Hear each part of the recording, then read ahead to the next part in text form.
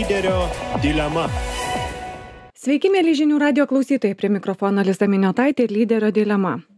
Šiandien ypatinga proga laidai, nes paramos vaikams centras švenčia 25 metų veiklos pradžios jubiliejų.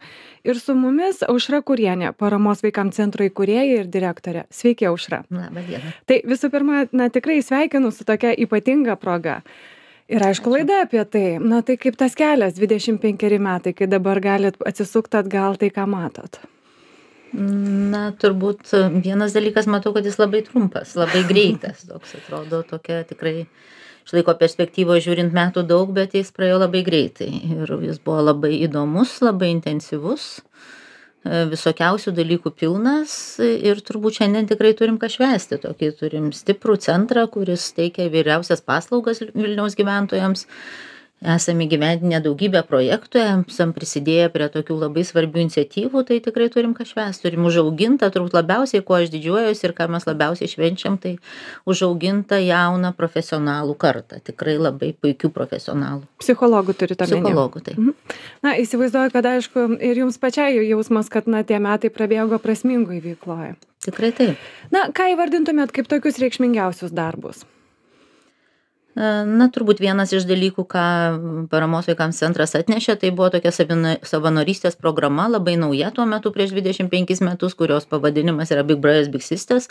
Tokia mentorystės programa, kuri yra gyva iki šiol. Mes kiekvienais metais padedam apie 80-100 vaikų e, surasti tokį mentorių, draugą, vyresnį brolį, seserį, kurie padeda vaikam, kuriem yra kažkokio emocinių galbūt sudėtingumų iškilę. E, Turbūt kitas toks labai svarbus mūsų žingsnis buvo tai pradėti kalbėti ir manau, kad buvom vieni pirmųjų, kurie pradėjo kalbėti apie smurtą prieš vaikus.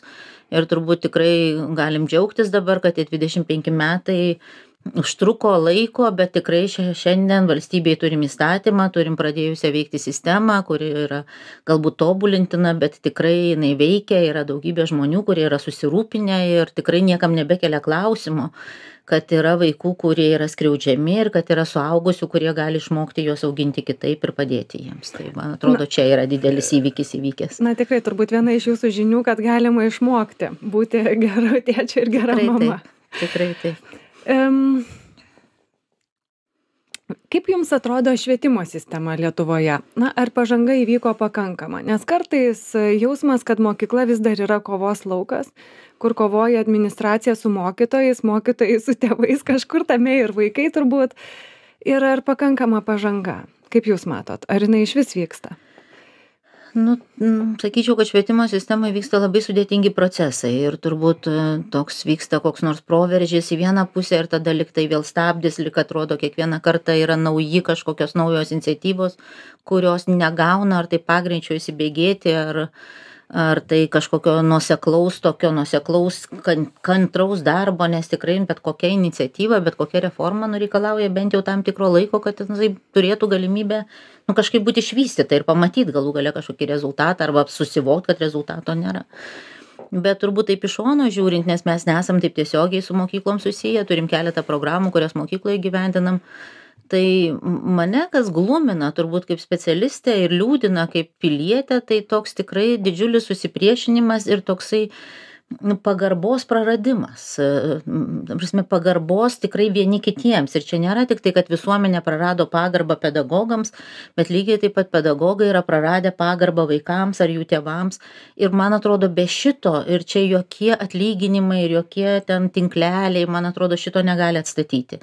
Čia tikrai kiekviena grupė tiek tėvai aš manau turi prisiimt kažkokią atsakomybę už savo santykį į mokyklą ir tai kaip jie vaikus paruošia ir kaip jie bendradarbiauja.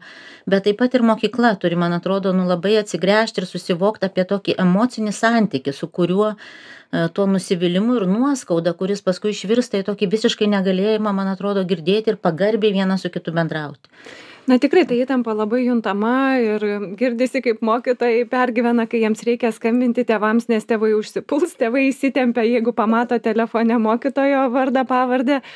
Lygiai taip pat administracija kovoja iš tikrųjų mokyklose su mokytojais, kai kur po kelias profsąjungas ir tarpusavyje nebendrauja vadovai su mokytojais. Tai visgi, kokių reikėtų žingsnių imtis ir nuo ko pradėti, juk čia na toks gilus nepasitikėjimas vieni kitais. Na, tikrai man sunku būtų pasakyti, bet štai mes turim pradinėse mokyklose programą, kuri yra skirta socialinių emocinių įgūdžių ugdymui, pradinukam. Jis yra integruota tokių 24 pamokų per savaitę vienos pamokos Ir aš labai tikiu, kad tie vaikai, kurie nuo labai anksti gauna tokius elementarius pagrindus, kas yra jausmai, kaip juos suprasti, kaip apie juos kalbėti, kaip drąsiai sakyti arba kaip jautriai juos išreikšti, jie auga mokėdami sakyti dalykus, kurie yra skaudus dalykai tai man atrodo tokį vieną kelią aš matau kad mokytojų bendruomenei irgi reikia pradėti kalbėti ne tik apie nu tokį turinio arba dalykinius dalykus bet taip pat ir apie savo jausmus e, savo emocijas analizuoti jas analizuoti savo nuostatas. Ir man atrodo kad čia yra kelias toks. Tai jum reikia ne tik psichologų kartą dar vieną išleist bet ir pedagogų gretas. Taip norėtųsi bet jau nebespėsim. Aušra na tikrai nuveikė didelius darbus. Ir na neteko girdėti kad yra na tokia vertikali lyderė tvirto kumščio moteris aušra. Kaip visgi jums pavyko vesti savo komandą iš visus šiuos tikslus man labai pasisekė. Kažkaip pas mus atėjo žmonės kurių niekur nereikėjo vesti. Kartais net juos reikia pristabdyti nes jie bėga priekyje ir aš kartais juokauju kai aš noriu ramiai padirbėti ir galvoju ateisiu šeštadienį ir ramiai padirbėsiu. Tai ateinu ir randu pilną ofisą žmonių ir turiu sakyti jiems kad eitų lauk ir ir būtų su šeima o ne o ne darbe šeštadienį. Tai tikrai man atrodo apskritai nevyriausybinėj organizacijoj vienas iš tokių esminių ir kriterijų turbūt ir ir ir būdų išgyventi ir jausti pasitenkinimą yra atsidavimas yra nu prasmės suvokimas. Man atrodo kad visi visa komanda suvokia šito darbo prasmę. Na ir kaip jūs tą identifikuojat jauną žmogų kuris gal nori prie jūsų organizacijos prisijungti ar yra jo akyse prasmės suvokimas nežinau to recepto bet tikrai identifikuoju. Tikrai yra jaunų žmonių kurie ieško prasmės kitur net ir toj pačioj profesijoj. Yra daugybė veiklų kur galima dirbti šitą darbą.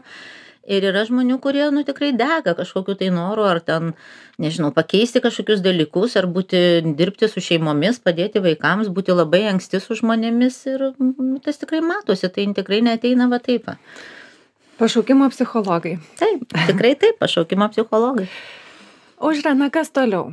Kas ką numatot arteina ateinančius dešimt metų? Ką norit nuveikt noriu pasitraukt jeigu asmeniškai galvot.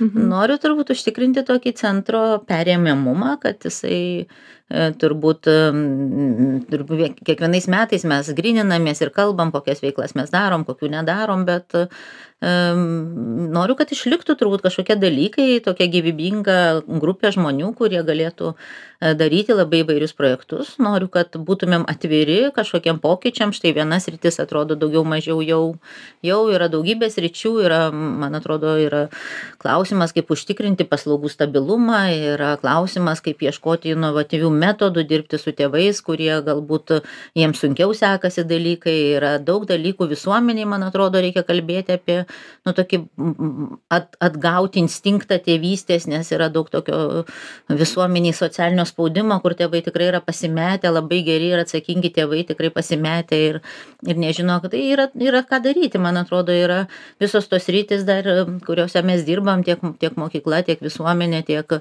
smurtas prieš vaikus, tiek savanorystė yra tokios reikalauja, nu, gilinimuose ir tikrai norėtųsi, kad tas viskas būtų stabilu ir taptų tiesiog nu vilniaus miesto ar ten lietuvos paslaugų paketo nu tiesiog normali dalis ne kažkokia ten ypatingai priepuolinė na visuomenė iš tikrųjų atrodo pasimetusi ir ieškanti to tokio optimalaus santykio į vaiką mhm. nuo visiško humanizmo leisti viską iki to tvirtos rankos auklėjimo kad na turi būti aiškios ribos kurios gali būt nubrėžiamos net ir labai grubiai tai kur tie teisingi atsakymai kaip juos rasti Mm, aš manau, vienas yra tikrai, aš tik žinau vieną receptą, tai tikrai kalbėtis, ar ne?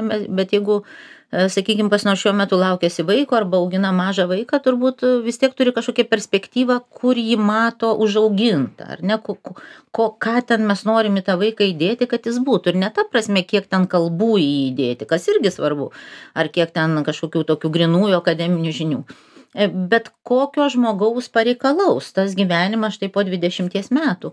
Ir tada yra labai akivaizdu, kad mes norim, kad jis būtų pagarbus su žmonėmis, kad jis mokėtų bendradarbiauti, kad jis būtų smalsus, kad jis būtų kažkoks atviras kitų nuomoniai, kad jis būtų drasus pasakyti savo nuomonę.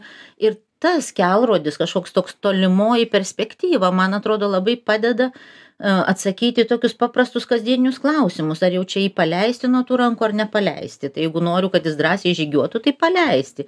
Jeigu noriu kad jis būtų labiau prieraišus ir labiau toksai prisirišęs prie nu nežinau šeimos ar artimųjų tai gal ilgiau palaikyti. Tai nėra vieno atsakymo yra labai individualūs ir mano galva tėvai juos žino bet jie yra supainioti savęs klausti jie klausia kitų man atrodo reikia grąžinti ekspertizę kad jie galėtų savęs klausti ir jau savęs paklausę ir neradę, tada tik ateit pasiklausti. Na, užra sakot, jau jaučiat, kad norit ir pasitraukti, perduoti kitiems vairą, tai ką veiksit?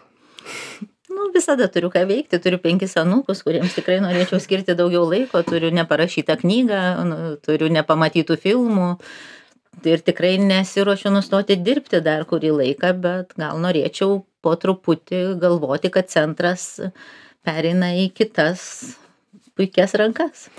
Dėkoju Aušra už pokalbį. Dar sėki sveikiname Paramos vaikams centrą su veiklos 25-mečiu. Dėkoju klausytojams, kad klausėt. Iki kito pirmadienio.